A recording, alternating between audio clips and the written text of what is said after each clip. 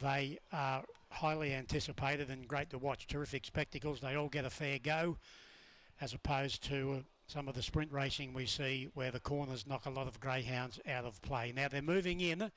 Misdemeanor at a dollar ten. $10 for number one on Pursuit, the second pick. Green light, power on. Here's the lure. Set to go. This is race four. The Ladbroke Sprint, they're away and racing. Was last out, Misdemeanor. On pursuit, won the start and leads at the post the first time. Now, Misdemeanor got straight in behind it into a clear second.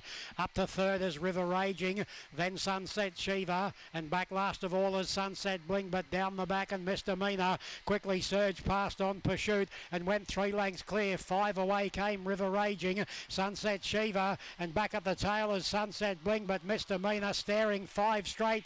Straight down down the barrel and it'll get it. Mr. Misdemeanor races away and scores in 31-4.